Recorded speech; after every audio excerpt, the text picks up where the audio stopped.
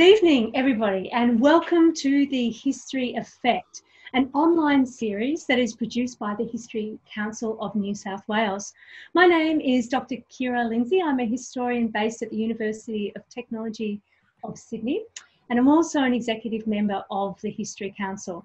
So I am going to be hosting tonight's first episode of our brand new mini series, which is called Careers in History. Well, it's brand new in the sense that it's online this year. We previously held it at the State Library of New South Wales, but it's really exciting to be working with this medium whatever the circumstances. And the Careers in History series is a collaborative event that's run both by the History Council of New South Wales and the Professional Historians Association of New South Wales.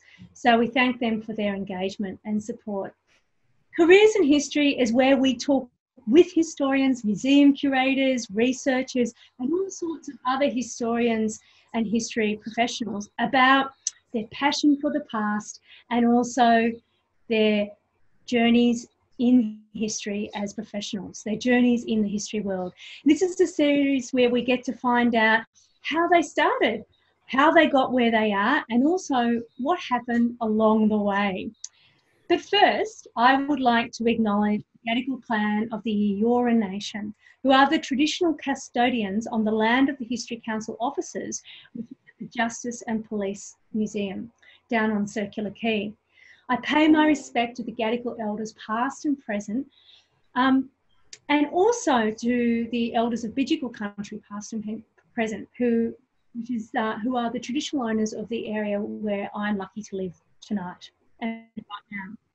As most of you are no doubt aware, most careers are evolving, unpredictable adventures. My own experience has taught me that they are that we are very often subject to what we historians call change over time. That means that they're susceptible to all sorts of economic, political, and social conditions most of which are actually beyond our control. In fact, these days, the prospect of staying in one job for our lifetime, which was the likelihood for my parents, is long gone. And most of us are likely to have at least four professional reincarnations during our lifetimes. But I think that this is a great thing because it teaches us to become really good at responding to market forces, to technological innovations, to listen to our gut instinct, and in the process, to acknowledge that we're very likely to end up somewhere very different from where we started. This is a wonderful thing because, as we're going to learn tonight, we get to develop skills in being curious and open minded, in being flexible, in being resourceful. And we also learn that it's really important to live professionally in a way that involves taking risks and perhaps even being a little reinventive. Um, so, especially if you want to make your contribution, if you want to enjoy yourself, and hopefully get paid along the way. And that's what our speakers tonight have learned to do by following their passion and their instincts and responding to opportunities. So tonight there'll be an opportunity for all of us to do a little Q&A after both of our speakers. So please feel free to type your questions into the chat stream um, as they talk and I'll do my very best to look at those and listen to them and, and try and cluster them together so that when each speaker finishes their talk, um, they um, I can I can ask a few questions before we proceed on to the next speaker. And just a note also that we are recording this event and it will be posted afterwards up on the History Council website so that if you're desperate to go back and, and, and learn more of those um, pearls of wisdom that are going to come at you, then you can go to the website or direct your friends there. So um, tonight we're joined by Peter Hobbins, Dr. Peter Hobbins and Dr. Iain Stuart, who are both principals at the Artefact Heritage Services in Sydney, and both have very fascinating but quite different career trajectories to get to that, that place. Our first speaker will be uh, Dr. Peter Hobbins. Peter has wide experience working across local, national, and international collections, including archives, museums, and archaeological sites. His specialist areas span from science, technology, and medicine, in addition to a lot of experience in public history, media, and community outreach. So you can see that Peter's interests are probably very likely to touch on quite a few of your own out there tonight. Um, he also has one, had several significant fellowships and prizes, including his best, his co-authored book, Stories from the Sandstone Quarantine, Inscriptions from Australia's Immigrant Past, which won the 2017 um, New South Wales Premier's History Award. Peter's other published histories include books, academic papers, magazine articles, blogs and data sets on topics ranging from archaeology, inscriptions, landscapes, urban, military, aviation, and maritime. What haven't you done, Peter? For goodness sakes, stop it. so we're really lucky to have Peter here tonight. Thank you very much for coming along, and um, I hand it over to you now. Thank you. Well, look, I wanted to begin by thanking the History Council. Uh, you've really been a bastion of hope uh, and rising to the challenge of these times. And I think it's been amazing the number of seminars the History Council has pulled together in the last couple of months while we've been locked down and recovering. I also should point out that uh, the postnomial after my name in this first slide, uh, the MPHA member means that I'm a member of the Professional Historians Association, and I'd urge many of you to join that association in terms of improving your skills, uh, applying a, a, standard, a set of standards, and also building your networks as well as historians or people working in and around the history profession. And I'm very pleased to say that our New South Wales website is just imminently going to be relaunched just in the next few weeks. Uh, the other thing I'll say tonight is that, you know, in the context of our current traumas, it would be pretty easy to be quite dismal about the state of history. But actually, the presentation I'm going to give you is actually going to be quite upbeat and practical, I hope. and how better to be upbeat than to start with The Simpsons? Well, I'm glad you asked. Look, to me, the essence of history can be brought down to this exchange between Svengali, the mesmerist, who attempted to hypnotize Homer Simpson at, uh, a public event. Now, Sven says to Homer, When I snap my fingers, you will transform into a famous historian. And of course, those of us interested in the past are all thinking, wow, which famous historian is Homer going to become? And of course, Homer says, look at me, I'm a famous historian. But what he next says brings us down to the crux of our profession. This is why we do what we do. Out of my way. That's the sum total. Um, so if even Homer can become a historian, that actually ties in very neatly with my own definition of who a historian is, which is someone who uses materials from the past to explain what it was like. And that's a pointed, pointedly inclusive definition that I like to work with. But unlike Homer, for most of us, there's no single moment where we transition from being a non historian into a historian. It's a gradual process, and we all have to decide where we sit on that, uh, that process. But to me, and this is what I want to talk about tonight, the essence of being a historian is doing history. It's the process of research, analysis, but particularly communication. Now, there are many paths into history, and I think what unites our many diverse tracks through it is this focus on communicating, on actually sharing what we've researched in ways that connect with our audiences.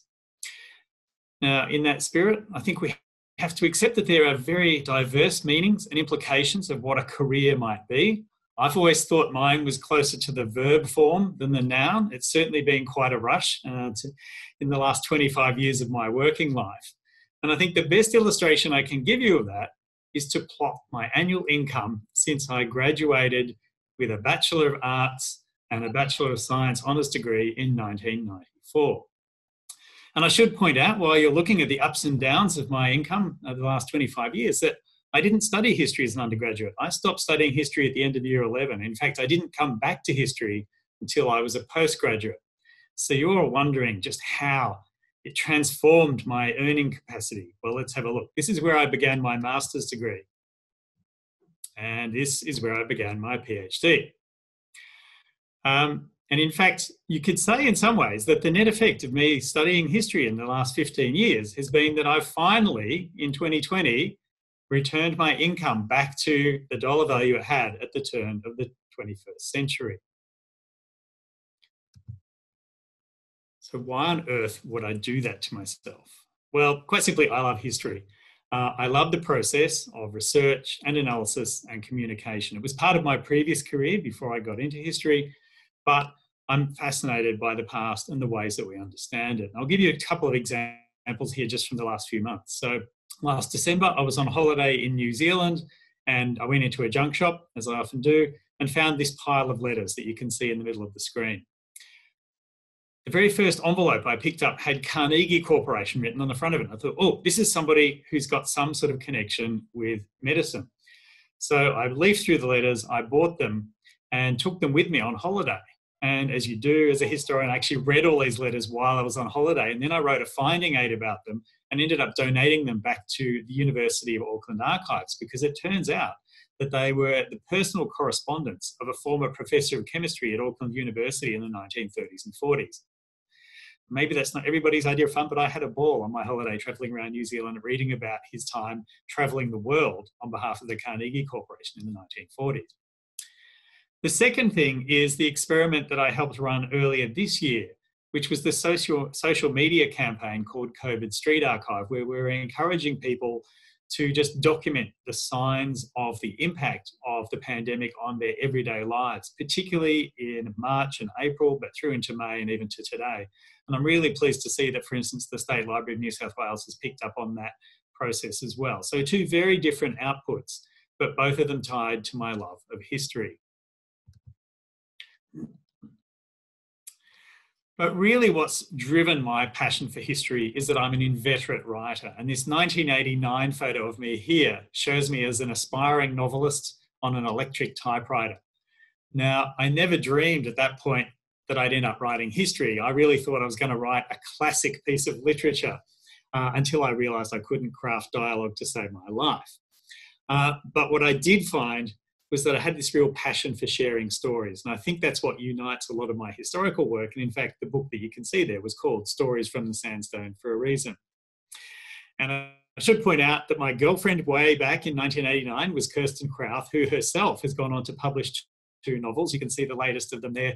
I'd urge you to go out and buy those because we need to support our struggling writers in all professions. Now, that creative impulse that led me to think about writing novels actually slid across from fiction into me becoming a professional writer for the next first 15 years of my career. So I worked in and around the pharmaceutical industry producing a whole range of materials, and that gave me a great exposure to a whole range of different approaches. So I was writing brochures about conditions for uh, adults and for children. I wrote scientific papers and posters. I attended major medical meetings overseas and wrote reports back from them, as well as workshop materials and videos. And it was a real uh, baptism of fire learning to write so many different formats. But of course, this is also why I was able to earn the sort of money I was on 15 years ago. Having said that, the internet also provided me with some different outlets for developing my own personal writing as well. Now, I, and I have to admit this, I'm a plastic modeler. I like building little planes and tanks and ships and so on. And so some of the first history that I wrote was actually those introductory paragraphs, like the one you can see there, that just outlined the background of the model that I was building at the time. And so, in fact, some of the very first items I ever put out into the world with my name on them that had the word history attached were these sorts of reviews. Now, as I moved along in my career into postgraduate study and particularly into my PhD, I had to start thinking a little bit more carefully about my personal brand. brand. In other words, what sort of historian was I going to be? Now, I chose to call myself a historian quite early on, partly because right from the outset, I was sharing or communicating the history that I was doing. And so I actually developed quite a range of outputs early on, including public talks as well as published articles. And the other thing I did was I started to position my expertise and try to build up a profile for myself. So, as Kiera mentioned earlier, my main focus is science, technology, and medicine, but I've also developed a strong interest in writing about artifacts or beautiful things, uh, as well as working my way out into dealing with communities and how they value history as well. And as I went on, I found that sharing my passion for history, but also sharing the process of history, was something that became really important to me. And I think for a lot of us in history, it can be quite a solitary discipline. We tend to do our research alone. We often, you know, some of us don't even want to publish our work. We just want to know that stuff as well. And one of the great advantages of working with archaeologists has been that that's inherently a team discipline, unlike history, where sometimes we have to drag people kicking and screaming into working with each other.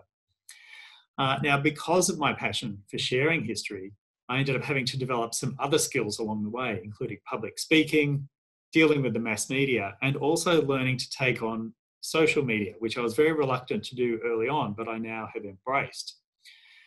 And that shift also was accompanied by a move from more didactic forms of communication, in other words, me just broadcasting them to the world, to actually trying to become more conversational, whether it's through dealing with audiences and workshops at live events like the one in Tenterfield you can see here, or actually taking part in talkback radio or talking live with uh, fellow historians like my friends you can see uh, in the photo on the right.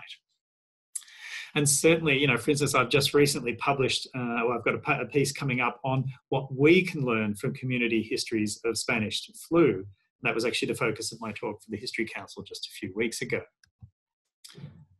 Now, another major shift that I underwent in the last year was moving out of the university world and into industry. And as Kiera mentioned, uh, and as Iain and I know, Iain and I know, I work now for Artefact Heritage Services here in Sydney. In fact, it's been a wonderful privilege to join Artefact because Iain's been a fantastic mentor, uh, bringing me uh, up to speed with so much about the heritage world and about the practicalities of archaeology that I didn't understand before. So there's definitely still a lot I can learn as a professional historian.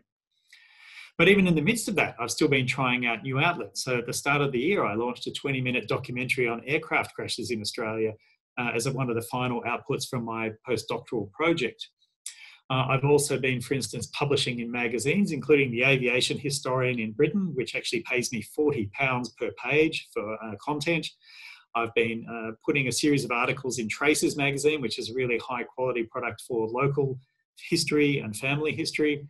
And I've started developing a series of walking tours with Renaissance Tours downtown as well. And again, I'm being paid for this. So this is actually professional history work. And maybe, just maybe, it will help me regain all that money I lost by my passion for history over the last 15 years. So wrapping up then, you know, heading back into that headlong rush of a career, I guess you have to ask, where do I think this is all going?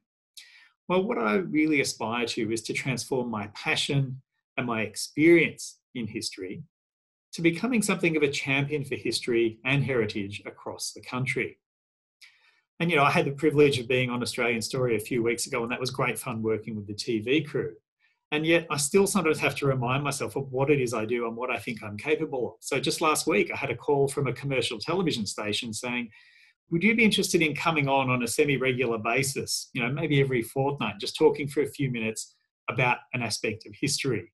of course you'll get bumped if anything interesting happens in the news but you know we'd, we'd just like to have some history as a little bit of light content at the end of the week and at first i thought oh i don't think i could do that and then actually in preparing for this presentation tonight i thought um what's the point of my presentation it's that we have those skills in research analysis and communication that means of course i should feel comfortable being able to put together a brief episode every couple of weeks to go out on national television why not or as Homer would say, out of my way. So, look, in the end, what I want to say is that, you know, these are awful times in some ways. The formal study of history is under shocking threat, particularly at our universities. But that's not the only way into or through history. And in fact, none of the examples I showed you in my presentation tonight are traditional academic outputs. And so, if I can leave you with a positive message, it's that you can career into history and through it by focusing on what and how you communicate the past. Thanks for listening. Thank you, Peter. That was just terrific and, and really inspiring. Um, I'm waiting for questions to come flooding in. I think you've bamboozled them all with your your wit and creative impulse, and uh, so they're careening in response. But I've got a few questions up my sleeve.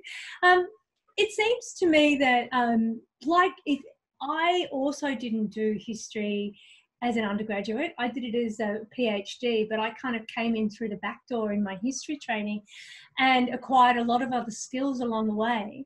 But it hasn't just been skills and experience, it's also sort of been a personal disposition that I think has been important to me. Can you um, unpack for us a little more some of the personal qualities that you think are vital to being able to um, to sort of move through those different opportunities that have presented you along the way? Mm, that's a great question. Thanks, Kiera. Look, I think the first thing to say is that just because I didn't study history doesn't mean that I didn't study history. So, in fact, I loved history through all of my life. I was constantly reading books and visiting museums.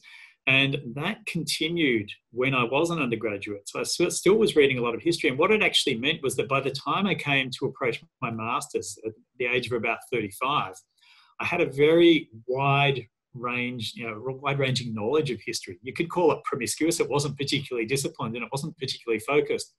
But I did find that actually having a relatively wide knowledge, at least in modern history, I tended to define modern as a sort of beginning with about the Seven Years' War in the 1750s. My interests okay. moved on from that, but it was quite global. It spanned quite a lot of different areas. And I think that was really a good grounding to coming into history because I hadn't segmented my understanding as well. And it did mean that, therefore, I was open to lots of different approaches to history as well. I wasn't particularly caught up in cultural history or social history or technical history or military history, which I guess was one of my interests. You know, I had a quite a wide range of interests. So that, that just meant I was able to come in with a, a sense of curiosity, but also I could see where the subjects I was studying fitted into a wider scheme. Mm, now suddenly we're being flooded with questions. So I'll just, yeah as I'm, my eyes flutter with fear as I'm racing through these, I'll just quickly ask you was there a particular moment where you thought it's time for me to step forward further? Well, my passion. Yeah, look, um, it, there's there's a few steps along the way. I mean, um, funnily enough, you know, I, I mentioned my plastic modelling now, when I was uh, I, uh, an early graduate, I'd come out and started working. I thought, oh, golly, you know, there's no time in my life for any more academic study. You know, I've got two degrees, that's all I need. I don't want to do anything else. But the urge was there. You know, I kept thinking, oh, maybe I'd like to do some sort of master's degree or some sort of graduate diploma. And I looked at a few, but I kept thinking, no, I haven't got time for it.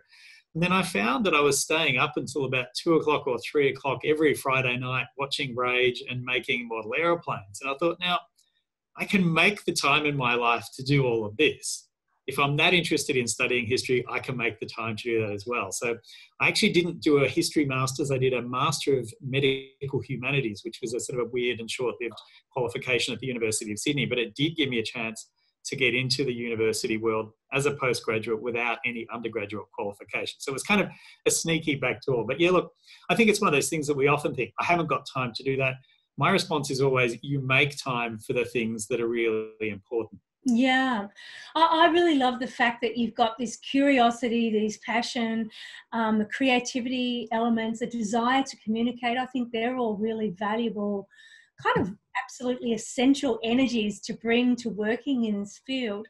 But also, um, I, I, would say that that generalist knowledge probably gave you a confidence so that you weren't too crippled by the self consciousness that often comes with a little bit of academic training sometimes.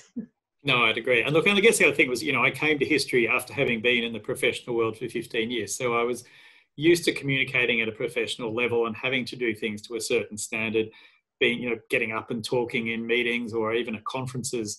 And so I did approach that with a level of maturity and confidence that you know I wouldn't have made necessarily coming straight out of my undergraduate degree. But that's not to rule out those possibilities if you are just coming out of your degree. It just meant that I, I approached it a bit differently and I was pretty focused right from the very first essay. In fact, the very first book review I wrote in the very first subject I did at my master's, I published. And I was just always focused on yeah, getting it out there. Don't do this for study anymore. Do this for publication. And I guess that's a, one of those wider messages about communication.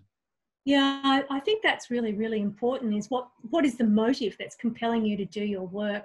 And it needs to be better, bigger, and better than the uh, publish or perish um, mm syndrome that we often hear within the university. A lot of people are asking you questions around your communication, but I want to go back to one that I see at the top from um, Erica, which is about avenues for employment for people from non speaking English backgrounds um, who are interested in diverse careers. That if just if you had any thoughts on that, I think that's a, a terrifically interesting question to ask in a immigrant society Australia, where there's often a, a focus on a particular type of um, national histories, and yet mm. you know so much of what we do as historians is to seek to diversify the narratives to consider um, immigrant histories and different voices.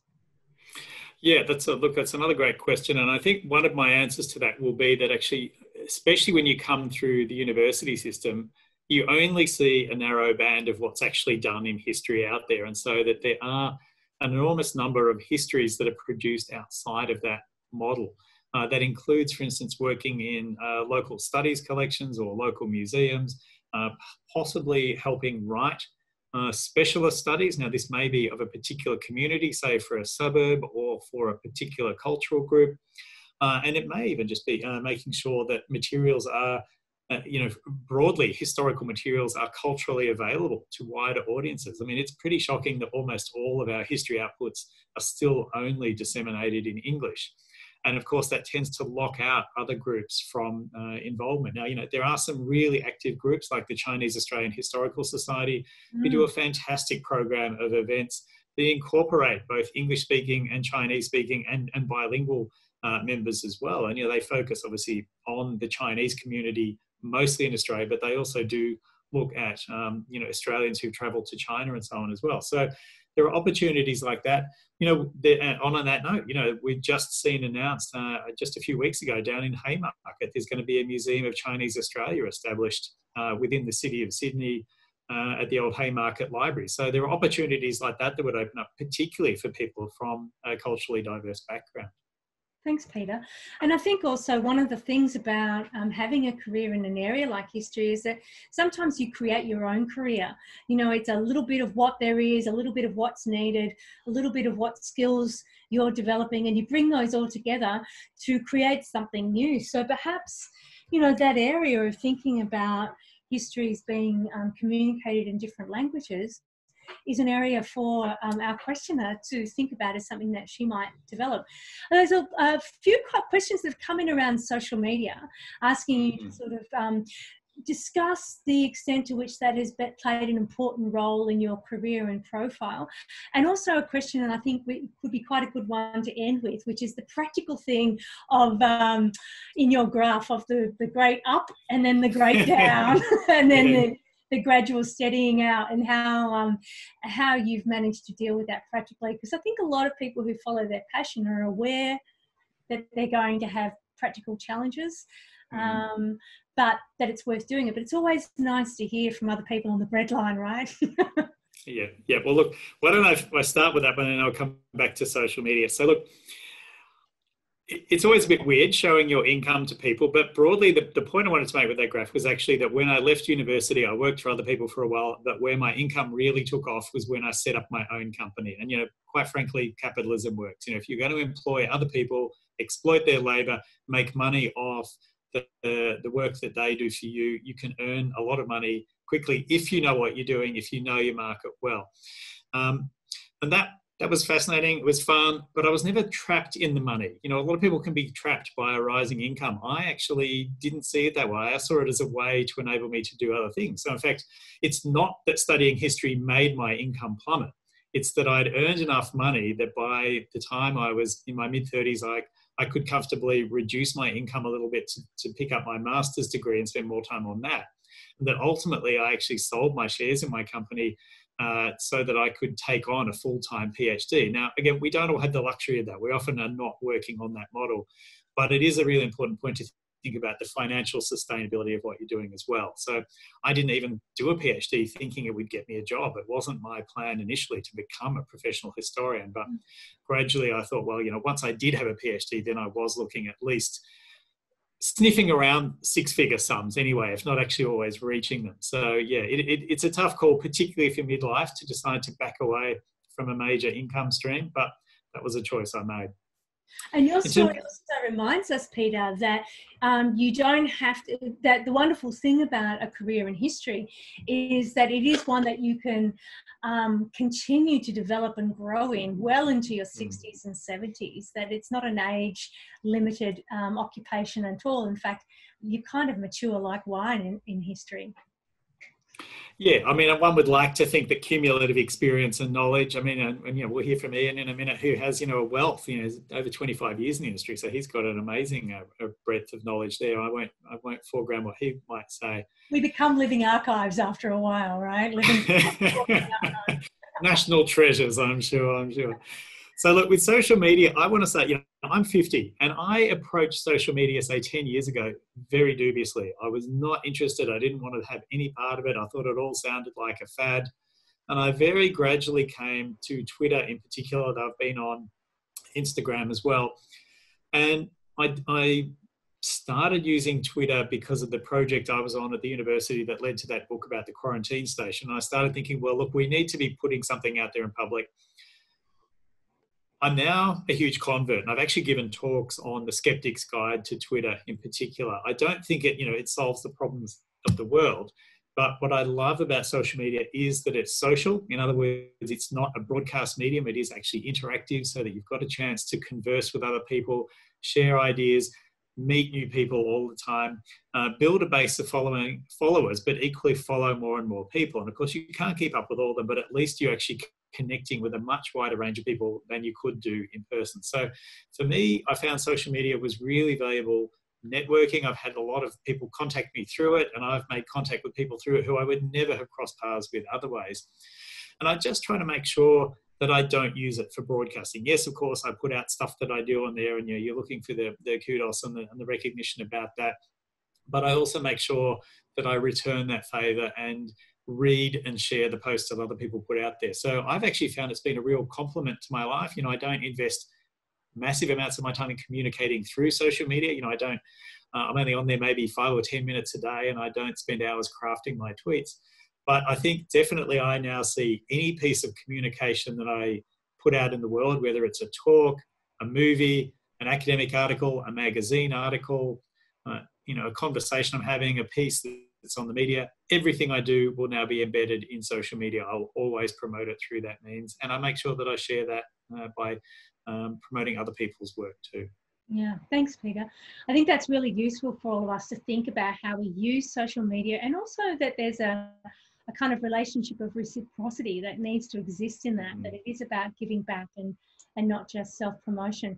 There's a final question here from Laura, which I, Laura, and I'm really think it's a great question to, if I can throw it quickly to you, Peter, and then incorporate it into your questions at the end, Iain, because I think it's a really important question. Um, which is that she, Laura asked, she's interested to know about what kind of history focused careers could be pursued for people living in regional and rural parts of Australia.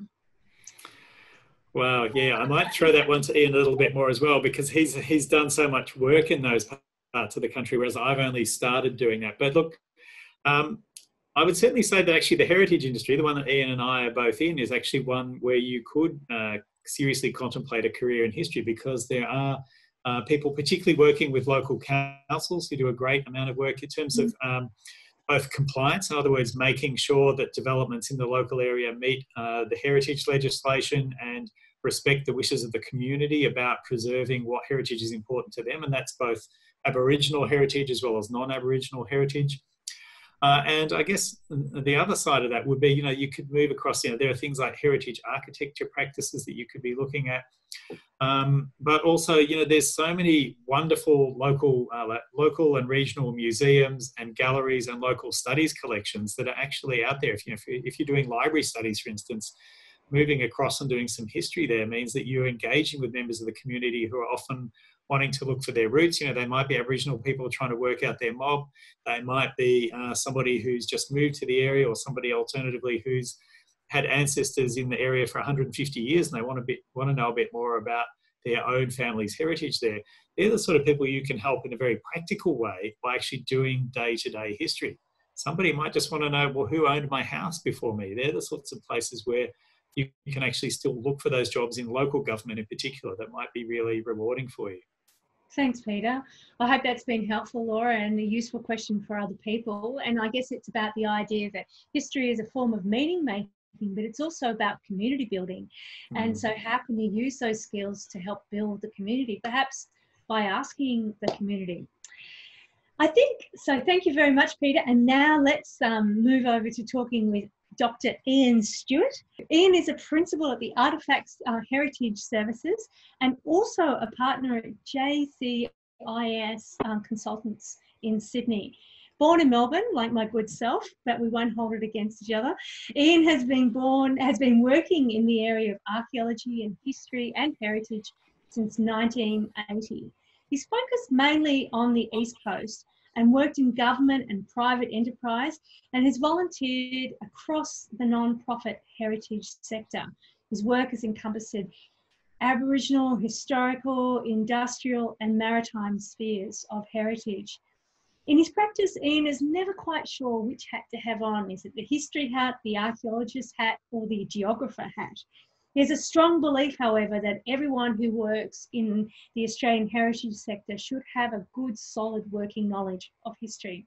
His particular interests are lie in landscape evolution and industrial development, particularly technologies are how they're adopted and developed. Recent, he's recently published on Macquarie's towns in the Newcastle defences and on wheat landscapes. So thank you very much, Iain, for being with us today. Wow, that's another hugely diverse um, set of interests. Uh, look, thank you very much for having me. Um, I'm, my talk is a bit more specific because it's a bit more about focused on on actually, I guess, where a lot of the work in history lies, which is is actually in the area of um, uh, heritage. Um,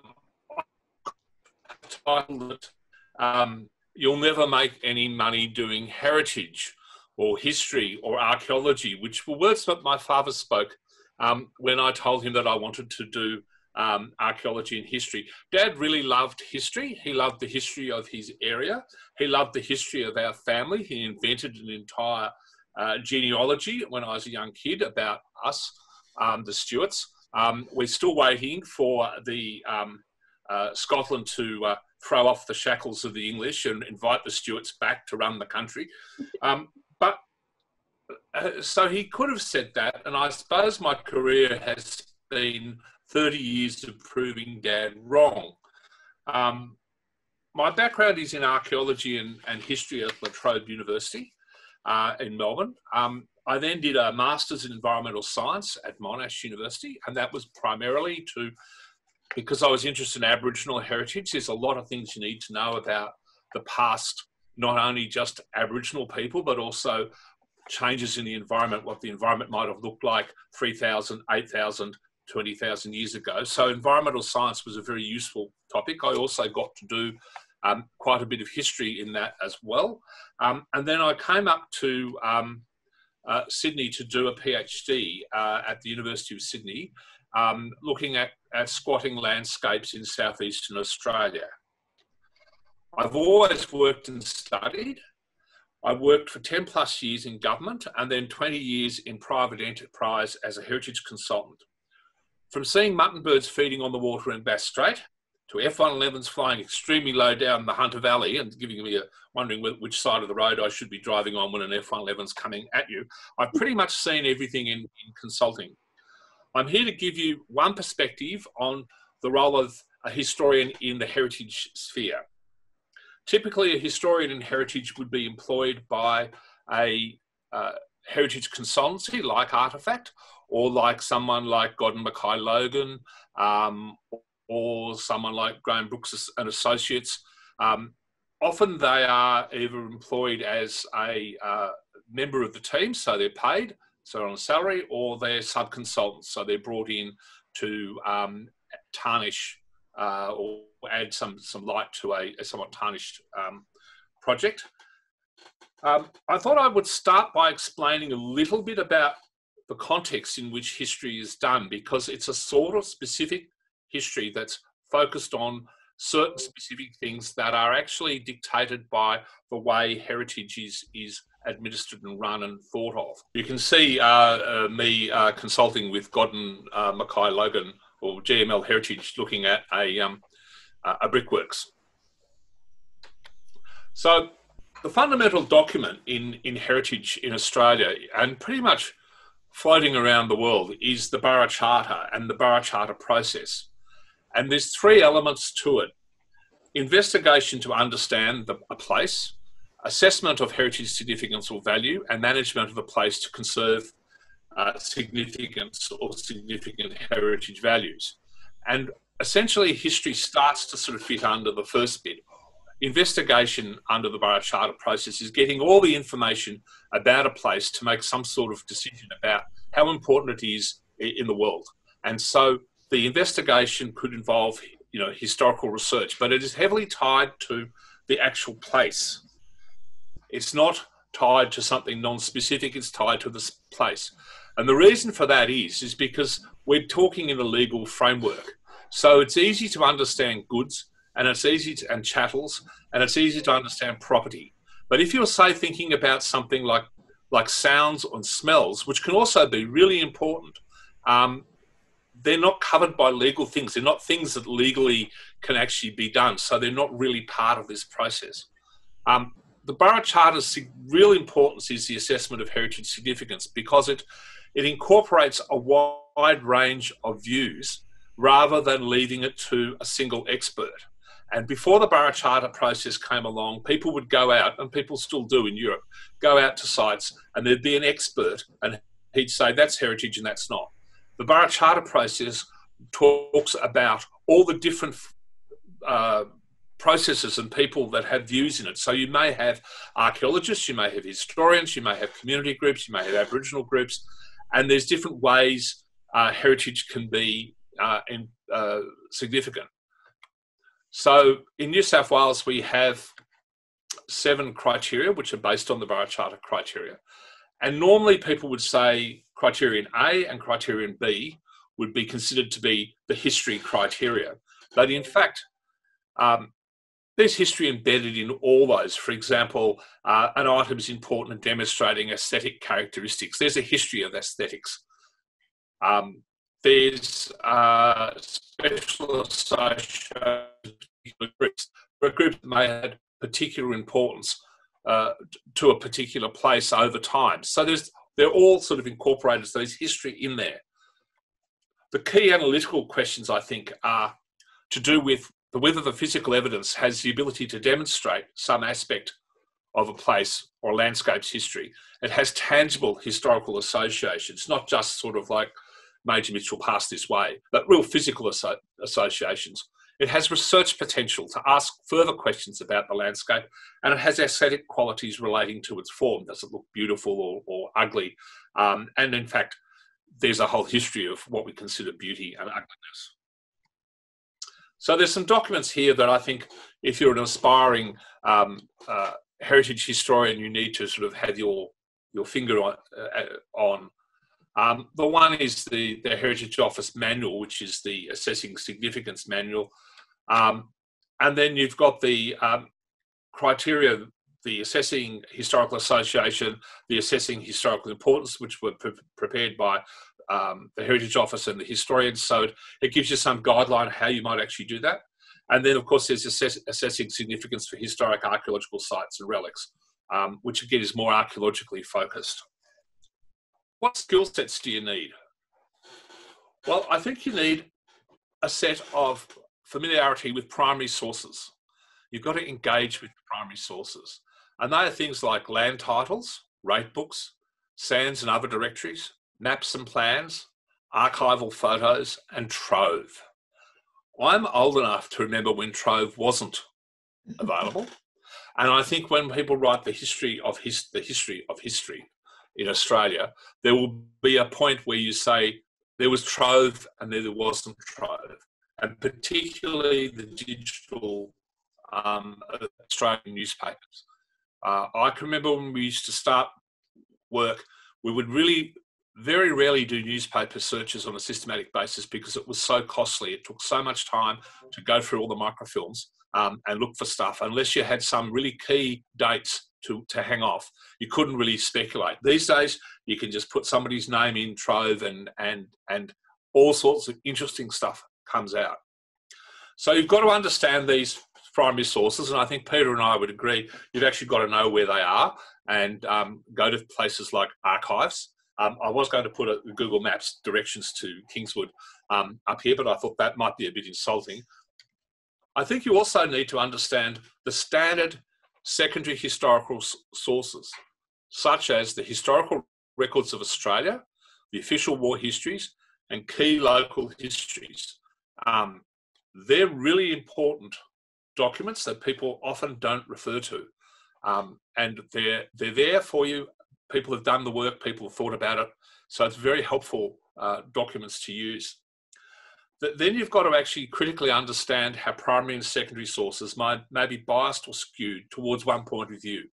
Um, and the classic case, and I think there's uh, something online about this where Andrew Wilson discusses some watercolours, where the watercolour of a particular site has actually been slightly altered uh, and composed by the artist so that you, you think you're looking at something that looks like a dead record for a building, but it's actually been slightly altered because it makes a better composition. And of course, familiarity with the Heritage Office guidelines. But a lot of people can do that sort of stuff. Where a historian adds value to it is what I call context is king. This is where the historian's skills in actually doing history, understanding the broader context, the pattern and flow of history, the bigger picture, because often one finds with heritage histories that they're very focused on a particular place and they often find it difficult to understand that place's position in the world. And I'm going to give you a, a, little example of this. There's a particular piece of equipment called a disappearing gun. It appears on fortifications in New South Wales and Victoria and Queensland and around the world. Um, when people were doing early military history, they were very focused on the peculiarities of their particular place.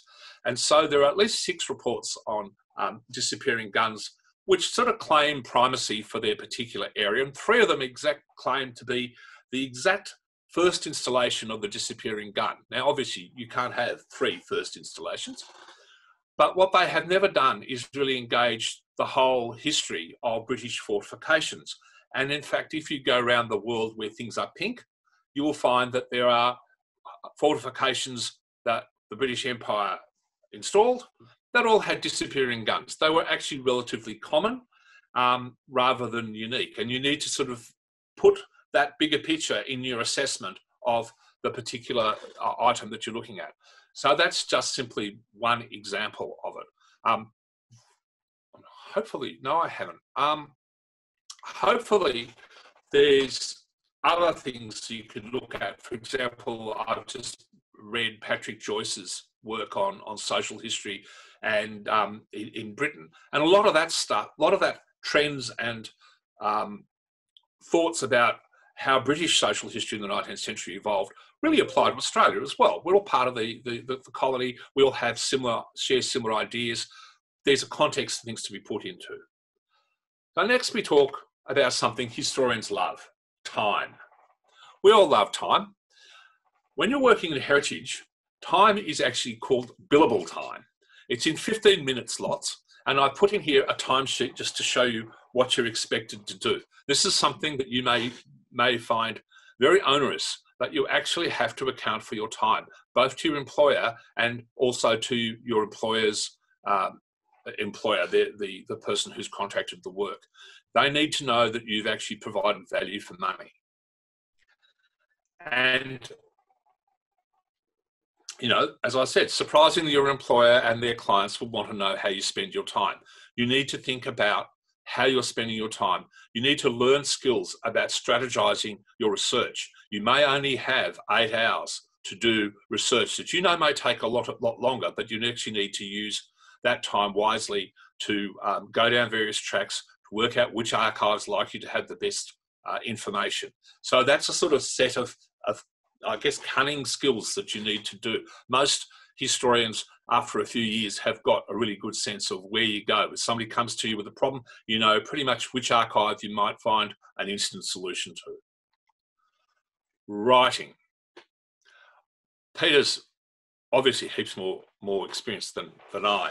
Um, in this, he he writes and writes and writes. I sort of prevaricate a bit, but these are the tools for writing: the Australian Style Manual, the Oxford English Dictionary, the Chicago Manual of Style, which will help you with your footnotes, Fowler's Dictionary of Modern English U- Usage, and the Macquarie dictionaries of various quotes. Although I'm, I'm sometimes not entirely 100% happy with the Macquarie dictionary, but um, you know, these are the documents that you need to have access to. Um, they form your tools. Writing is really important in doing heritage. It is absolutely communicate your ideas and your train of thought. If you're um, the client may not be particularly interested in your work, but the regulators and the people who are looking at whether you've actually done the right thing or whether you've actually just written what the client wants you to write um, are going to look at the argument. They're going to ask why your site, why you thought your site was the way it was, why you thought it was important, how it related to things, what your sources were. And it's absolutely critical to, to have that information in your report so that people know how you've come to your conclusions. I think everybody realizes, and it should be actually written in your report, that historical events change, uh, perceptions of historical events change and historical resources change. So archives suddenly may make things more available. Um, we're seeing this situation with the National Archives and the um, uh, John Kerr papers. You know, they may change our perception of the, the dismissal. Um, so we need to say in our reports, I've written this report at this particular time using these particular sources. This is what the, the conclusions I've drawn based on what, what evidence. So it's absolutely critical. And finally, and, and, so, and speaking as someone who actually has done a course called multidisciplinary organisation, um, the Burra Charter says conservation should make use of all the knowledge and skills and disciplines which can contribute to the study and care of a place.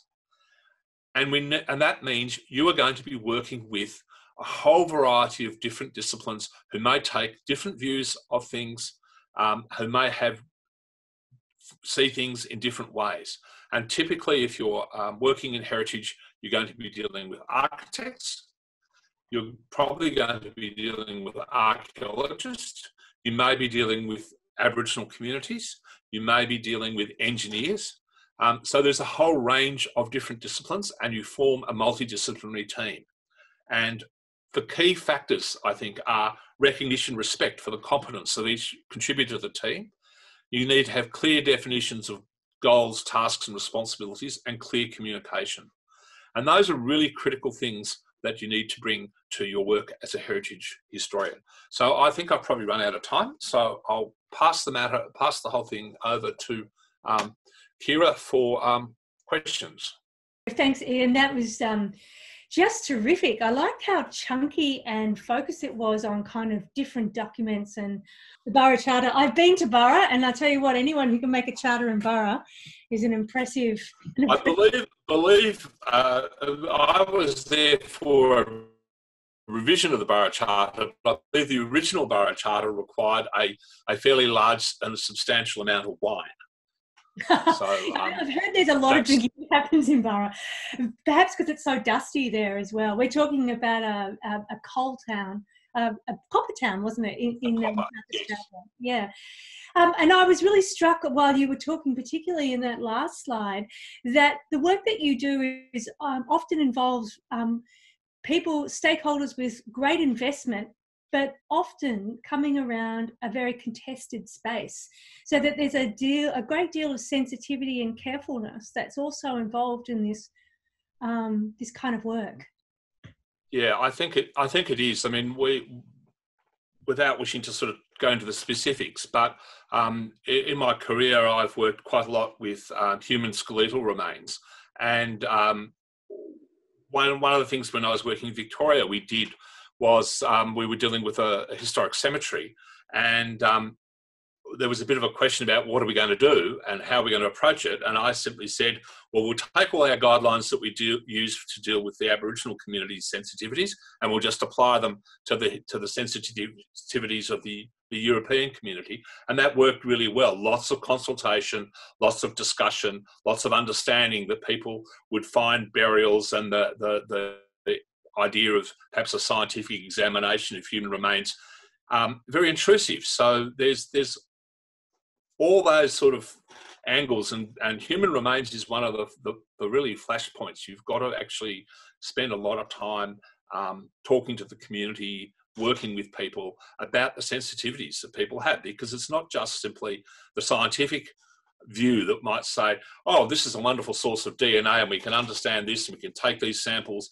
But it's also, people might find that incredibly intrusive to them. So um, there's, a, there's a lot of uh, sensitivity to that. And I think that also comes with dealing with you know other disciplines like architects and stuff like that. Um, you've stimulated a lot of questions, Iain, and one of which is um, how can historians start to work in this field? Is it about networking? Is it word of mouth? Are there place where, places where um, opportunities are posted? And when people are um, wanting to promote themselves to work in this sphere, what sort of qualities do you think that they that are you looking for? Well, I think that um, uh, there's a number of, of, of, ways of doing things. Obviously, networking and the PHA and the History Council seminars are, are, good ways of, of doing that. I think that from a client's perspective, from a potential employer's perspective, I think having you know demonstrated skill sets um, help and, and oftentimes and, and I was sort of don't want to bash the unis, but oftentimes the universities don't give you some of those skill sets. But people like the Royal Historical Society um, and the archives themselves often run seminars, mostly orientated towards family historians. But don't be proud. Go and learn from these things. You know, I learned about conditional purchases in in um, New South Wales by going to a seminar that the the um, archives uh, ran, and it was just I still use the notes today. So there's that sort of thing. Put yourself out there, and also try and write stuff. People are really mm-hmm. interested in your writing skills because it's a huge issue. When we have consultants coming into Artefact or looking for for more full time work, we are looking at their writing skills because it's a it's a huge issue. Okay. You know, historians write and write and write and write. Yeah. So reading and reading and writing and writing could be one way that people who are interested in moving into this field can start to build up their muscle strength. And is, is, volunteering also something that is available to people to do, say, how, I mean, people always want to go on digs, don't they? Yeah, volunteering's, volunteering's become, I mean, look, archaeology was very much a sort of, um, uh, it was two ways. You, you, you did your university degree, but you also gained experience in a sort of mentoring way. But that's stopped a little bit because um, major projects these days, there's a lot of occupational health and safety requirements, which they charge us for. So, you know, you could spend a day um, sitting in a, in a, uh, with a whole bunch of other people in fluoro, um, learning about your site and, um, and, and being inducted to work on it. But you know, it actually costs people money to do that, either your own time, but also sometimes they charge you for the privilege of working on the site. So that's puts has put up a huge barrier. Mm. Um, but there are other ways of volunteering. There are other local historical societies, local studies collections, um, where you can go and, and learn those skills or engage with the documents. So there's plenty of vol- volunteering. Um, well, at least the Murray's just said the City of Sydney Archives and the State Archives both have volunteering programs, and that's often a, a very useful route to mm. go down. Um, uh, so long as you're not displacing paid professionals from their jobs, I suppose. That's the other, other problem that people. And, um, and, you showed a very scary looking software before um, with billable time on it. And it occurred to me that there's a, a lot of project management that um, good consultants need to be pretty adept at. Are there um, a, a, people have been asking questions about online courses, long, short, um, that you might advise that you might? Look, I, I, I think that some there are some courses around like um, I think WEA were offering um, on being a consultant, and that's sometimes those sort of courses are actually quite useful. They may not have anything to do with history or the sort of work you're doing, but they have some basic principles about starting out. For example, um, I, I, can remember having discussions with, with students at, at um, Sydney University um, about the sort of work that was, was they were being asked to do. So they were being sub consultants on projects, how they should charge, what they should consider doing, um, what their roles are, what their obligations are, that sort of thing. And so there are, are courses around on on being a consultant, and that's probably a useful sort of exercise to see how the how it's generally done.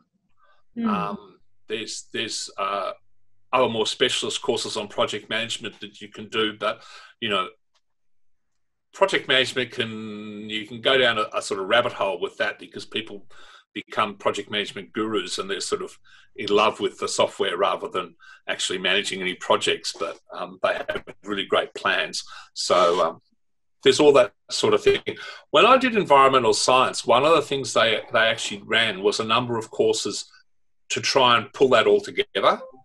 Sh- uh, there was multidisciplinary organisation was a sort of course that brought in a whole lot of things about project planning, um, about working with other disciplines, and I'm not sure whether their course whether that course is actually or similar courses are run at, at um, uh, around Sydney, but that's the sort of thing to to do, and it's probably something that we should be encouraging. Um, people to universities and such to run so that people know how to work in teams. Yeah, absolutely. So being being able to work in a team, being able to collaborate, um, seem to be very crucial qualities yeah. for potential candidates. Well, yeah, I think you can see that in Peter's work as well. I mean, he, he he's obviously um, the sandstone work was at, at, the quarantine station was was a collaborative um, uh, project. So there's there's working together in teams is really really critical. Mm. So what do you love the most about the work that you do? Oh, I just like the diversity. Mm. I think the thing is that um, I, I, can uh, be sitting in my office one day and, and, somebody will ring up about something, and it may well be a, a crisis. Mm. Um, it may well be just somebody saying, What do you know about this? And there's a whole diversity, and you can suddenly be doing one thing, and then the next minute you're off doing something else. Mm and uh, yeah, what, sorry. What, what, quality do you think is most important? There's what personal quality has been most important for you in your work? Uh, don't panic. it's actually really be our tagline for 2020. I think. Yeah, I think it's. I think it's. I think it's really important because I've, I've seen it. You know, you you you just got to let everything and and and um and just let it all happen. And as I said, don't panic. And there, there are various instances I can tell you about mm. situations where I've seen seen that work. Um, and I think also possibly be yourself. You know, as a sort of and uh, uh, as a sort of historian and dealing with the community and people, it's important to just to be yourself and not be, you know, the historian from Sydney, particularly in rural areas. You know, yeah. You, you're, you're just the, you're just the person going out there asking people about things that they are experts in, yeah. um, and so you know you, you go out there and and, um, and, and try and engage in their culture and and um, uh, just be yourself and be honest. Yeah, and I found that in particular working with Aboriginal communities.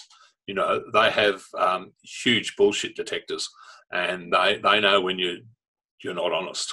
Yeah, um, and that's. Uh, that's through bitter experience. So I think that um, you know you can if you go out there and work with work in the community, you've got to be yourself. Yeah, what a powerful note that is to end on. To um, always come from integrity and and you know and enjoy your own authenticity, whoever you are. There's an opportunity for you to make that contribution, to follow your passion, to to be creative in the ways that Iain and Pete shown us tonight.